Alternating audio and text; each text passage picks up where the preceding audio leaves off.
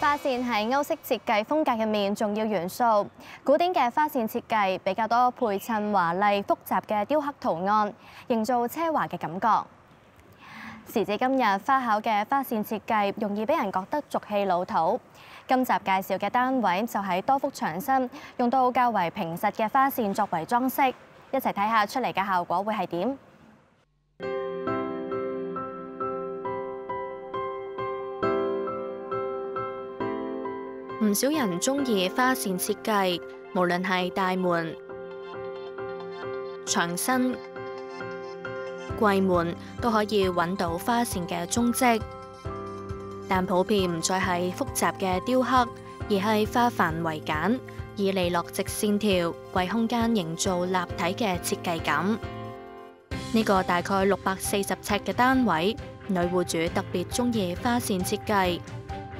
於是設計師就以簡潔幼身、線條性比較強嘅方框花線作為單位牆身嘅主要裝飾。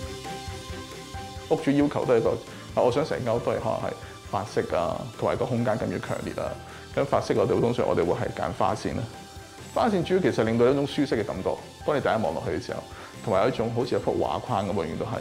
whatever 你喺個花線框裏面擺任何嘢，掛一幅畫，擺部電視。甚至一個好簡單嘅鐘啊，任何掛衫啊，都好似一個裝飾咁咯。係咁對屋主嚟講，其實誒，我就想享受呢啲畫面。花線設計主要集中喺玄關同埋客飯廳比較顯眼嘅位置。其實花線位其實我哋應該係個誒，我哋覺得 nice view 嘅位置咯。即係譬如，通常我哋會 enjoy 係你個人翻屋企第一時間望嘅位置咧，可能會望玄關位啦。咁跟住到去掛衫嘅位置啦，跟住到去餐台位置啦。sofa、TV，其實呢幾個 viewing 咧，呢個 angle 都係女戶主覺得比較舒服啲，而想重點覺得想釋放出嚟嘅個畫面。花線有唔同款式同埋粗幼，至於裝嵌方法，大致可以分為兩種，一種係由工廠預先將花線釘上木板，製成一塊塊組件，然後逐塊拼砌接駁而成。廠嘅接駁板會快啲嘅，冇可否認。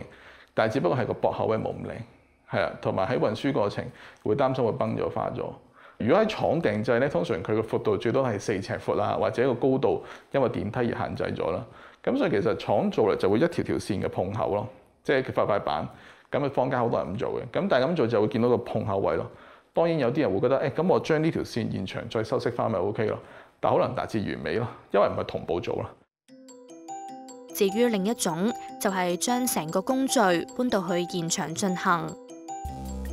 成個花線嘅過程咧，我哋喺製造過程應該係一開始會釘一塊底板先嘅，但係底板我選擇翻比較好啲嘅底板，防白蟻啊，做咗防潮功能嘅。跟住我再做個底漆，跟住我可以再做完底漆就可以上灰啦。咁灰通常你預翻落一至兩層啦，直至到完成面比較平滑之為止啦。跟住經過打磨就再噴手漆啦，手漆預翻都係噴兩至三層啦。咁但係其實完成第一浸嘅手漆之後咧，應該要釘花線嘅。花線做完之後，做埋轉角嘅處理啊。咁接駁釘好晒咧，先可以噴第二層，跟住第三層先可以完成咯。為咗可以更加容易隱藏花線駁口，令到整體感覺更加完整同埋美觀，呢個單位嘅花線就選用咗現場裝嵌嘅方法。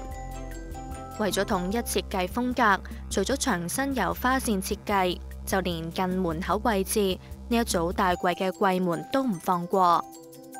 同時，大櫃嘅擺位亦都兼顧咗戶主夫婦嘅储物習慣。門口呢組櫃咧，其實主要我哋高櫃跟翻屋主佢哋有好詳細溝通啦。我本身係習慣啦，一開門我哋想係有掛衫，跟住擺鞋啦。咁所以同埋最主要就係我唔想有高櫃出現，因為想空間感大啲啊。所以中空位有個鏡位啦，同埋可以擺翻去數少量 display 啦。延伸到 TV 呢個位置咧，其實都係想簡潔為主嘅。所以其實一件下面係離地，因為其實係想佢容易打理，係啦，同埋就係想線性啲咯個畫面，可以伸長啲嘅畫面咯。呢一個以條子作為裝飾嘅位置，一眼望落去，以為只係特色牆嘅一部分，其實分別係主人房同埋洗手間嘅隱藏門。我想 focus 喺中間花線，咁側邊嘅位置用線條性，好簡單代表就 O K。而暗門就令到感覺好似一幅畫咁咯，有時候睇落去有連線延伸性會靚好多，相對嚟講。同樣以線條做設計嘅，仲有天花燈。唔同長度嘅 LED 燈條，除咗可以按自己喜好排列，仲可以按唔同需要轉換燈光效果。其實本身因為佢呢個位置我做咗圍邊嗰個包包咗個橫梁之後咧，中間比較空啊，咁所以我哋想側邊再將呢個呢個 square 位咧特別少少，所以收翻啲位再深燈咁樣咯。滿足咗女戶主對花線裝飾嘅要求，兩位戶主亦都希望有更加大嘅活動空間。設計師就將原本三房兩廁嘅間隔改為一房一廁，擴大咗睡房同埋客廳嘅空間。其中一隻原本屬於房間嘅大窗就納入成為客廳嘅一部分。Scott 啊，我見到呢度有兩個大窗咧，其實點解會有一個木邊咁樣框框框住佢哋嘅咧？主要因為佢屋主好鍾情呢個 view，所以我想好似一個畫框咁包住佢。咁另外咧，除咗畫框比較沉悶得滯，所以想做一啲木紋嘅斜紋堆砌翻佢個效果咯。咁嘢就會生動啲啦。咁另外屋主可以有多個位置去做個 leisure area，睇下書啊，睇下風景咁樣。咁考慮到因為平時要上落關係，所以油漆嘅位置咧做翻牆布，咁最主要係防花同埋襟用啲。呢一個窗台仲有另一個功能，就係男户主積木收藏品嘅專屬展區。因為其實男户主咧個要求都唔算太多，佢主要想話誒，我想有啲 LEGO 要 show 翻 display 出嚟，但係我想，但係女戶主亦都唔想有太多 LEGO show 出嚟，咁我將佢就隱藏咗喺個窗台位置，將個窗框收窄少少，做咗個 box 落去，咁你可以將全部 LEGO LEGO 可以擺晒入去咯。為咗更加善用空間，房間同埋客廳之間只係以一組大櫃嚟相隔。成間我哋都係想希望係 break 咗啲 wall 去重新做過，重新規劃過。咁所以其實係基本上除咗廚房、廁所嘅實體牆之外咧，其他都冇噶啦。咁我哋其實主要廳同房咧用一個櫃嘅間隔開去咯。咁個櫃其實主要嘅 function 喺書房咧，喺主人房就係書房同埋 TV area 嚟嘅。櫃身有一定厚度，為咗避免遮擋自然光，設計師冇將大櫃直接放喺窗邊。而係預留咗一個空間作為小型裝飾櫃。原本都有間房嘅，咁我哋拆一間房，因為想成個窗咧見晒，再廳同埋房嘅窗。咁所以我哋將呢個櫃嘅側邊嘅位置咧，有個窗框位，即係想見埋成個窗框位。所以將有個玻璃間隔，想個通透啲嘅感覺喺成個畫面都係。考慮到如果夫婦二人其中一方喺客廳活動，唔想打擾喺房間休息緊嘅另一半。用嚟間出客廳同埋房間嘅大櫃背板，特別加入咗隔音棉，同埋喺旁邊呢一個位置做咗雙層玻璃。而房間嘅呢一組大櫃提供咗充足嘅儲物空間，連放置電視嘅位置都隱藏咗收納空間。因為除咗個高櫃之外，其實 TV 櫃其實係可以正面打開道門啦，同埋再打裏面再做 install，再做 storage 嘅。咁整體其實主要係考慮到除咗個櫃就除咗擺電視，想要儲物量高少少咯，而方便啲咯。房間嘅另一邊係衣帽間，以條瓷玻璃趟門作為間隔，呼應客廳以線條為主嘅設計風格。成個空間佈局除咗有大衣櫃同埋女戶主嘅鋼琴，亦都特意為男戶主預留咗一個專屬角落。衣帽間本身咧，我哋係 expect 已經係一定要放鋼琴噶啦。因為我想個廳個空間咁要好大，咁另外就係衣帽間咧，其實就有個窗嘅位置嘅，其實有圓走廁所位嘅，咁所以我哋將個窗嘅位置偷翻出嚟，咁俾男户主擺啲 figure 咧，咁同埋可以有個對立裝咯。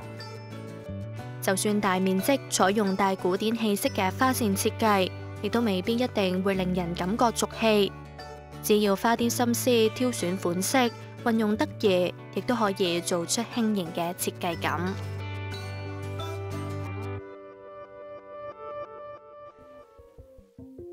下一節返嚟帶大家參觀一個玩樂設計展，當中唔同形式嘅玩物設計，除咗可以勾起兒時回憶，仲可以啟發大家思考玩樂文化對個人以至社會成長嘅意義。勤有功，戲無益。我哋細細個就被教育玩對我哋一啲好處都冇。最近有設計學者就策劃咗一場玩樂設計展，透過互動裝置同埋唔同年代嘅玩物，等大家明白到玩對設計同埋社會文化嘅重要性。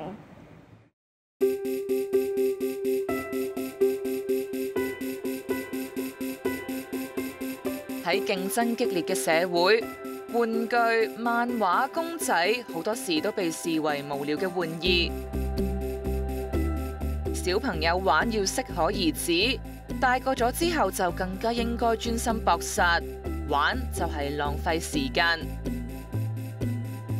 香港設計中心最近舉辦咗一個以玩樂為主題嘅設計展覽，希望改變社會大眾對玩嘅舊有觀念。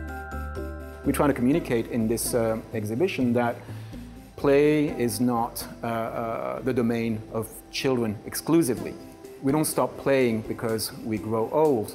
Uh, and I'm paraphrasing here. Uh, uh, we grow old because we stop playing. Remy 系其中一位展览策展人，佢曾经担任大学设计系讲师，专门研究玩乐同社会文化之间嘅关系。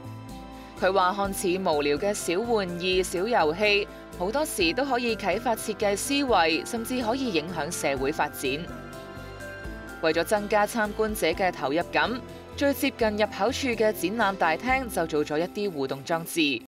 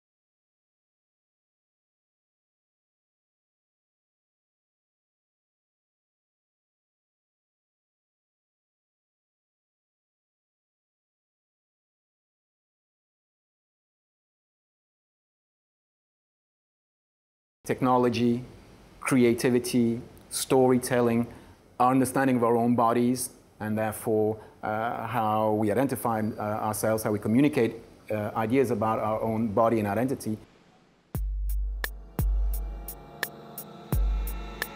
策展人搜罗咗唔同年代出版嘅漫画绘本同埋文具。至于玩具方面，大家都可以感受到科技系点样影响玩具设计， 唔單止帶嚟生產技術嘅改進，內容上亦都發展出可以幫助玩家學習電腦編程嘅 STEM 教育玩具。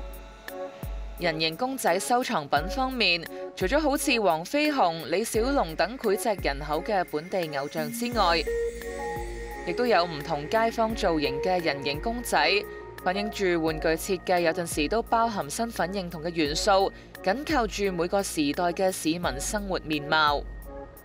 It's really creating stories about who we are and what the world is all about. It's what really play allows us to do, say from an individual biological, psychological way, is to adapt circumstances, the world around us, but also to create variation, and that really is necessary for evolution.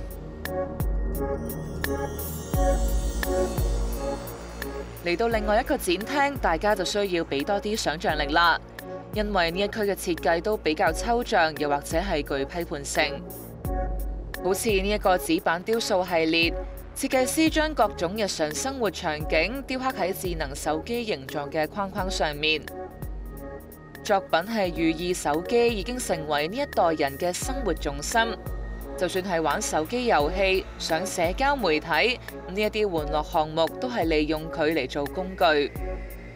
至于呢一个位置，就有一部载有几款玩具部件嘅扭蛋机。 随机扭出一款之后，参观者就可以喺旁边嘅长台攞工具，创作自己专属嘅玩具。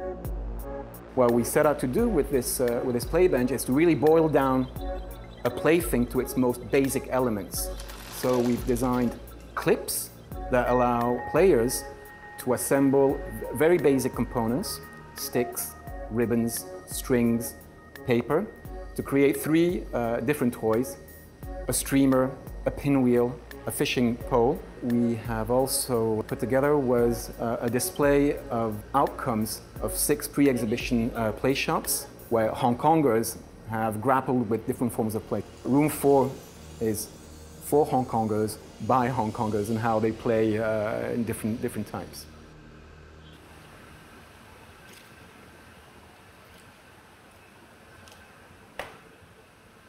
好玩嘅設計唔係淨係得玩具，更加唔係小朋友嘅專利。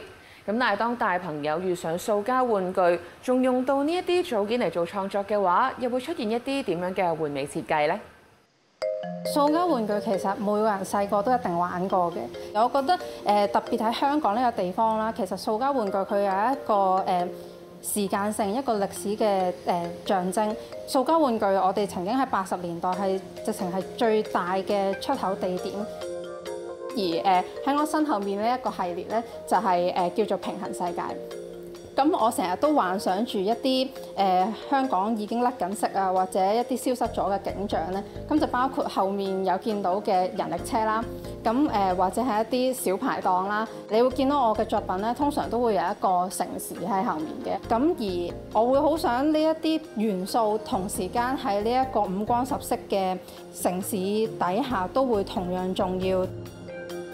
Angela 用塑膠玩具嚟創作光影雕塑已經有七年嘅時間。對於佢嚟講，構思設計唔只係工作，搜羅唔同種類嘅玩具，再研究佢哋喺光影之下有啲乜嘢變化，然後結合想像力敘述自己想講嘅故事，都係一個好玩嘅過程。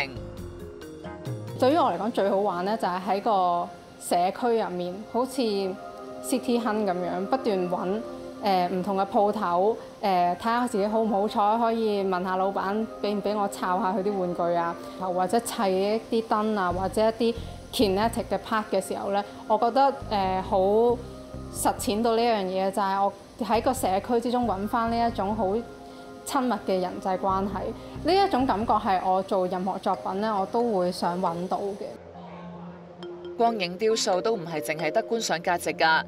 Angela 教我哋用通粉、絲帶花等等嘅材料做咗一个简单版本，平时可以用嚟做摆设，而开 party 嘅时候就可以投射光影到墙上，增添气氛。效果系点样？我哋最后先至揭晓。而家先睇下有啲乜嘢需要准备。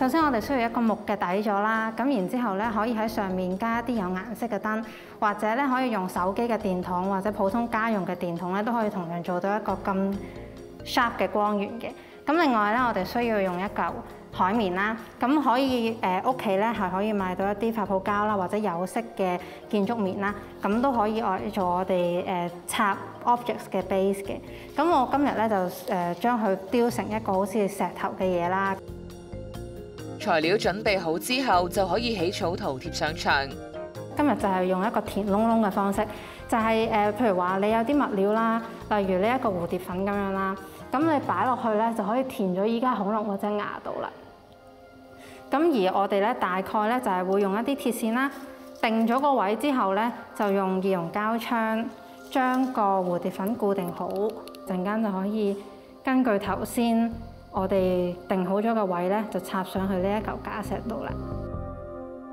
如果採用咗兩種顏色嘅燈，要留意每一次度位都要用翻同一隻顏色嘅光影。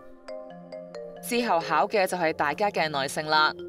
重複以上嘅步驟，直到砌完圖案，跟住就可以撕開草圖，將飾埋海綿假石嘅表面，大功告成。玩物以及遊戲空間嘅設計，要吸引玩家，除咗從視覺元素入手，細節處處都要從用家角度出發。下個星期我哋仲會帶大家睇下獲得紅點設計獎嘅玩具有咩特別。一眼睇晒嘅遊戲室又係點樣可以做到小朋友玩五個鐘頭都唔會厭？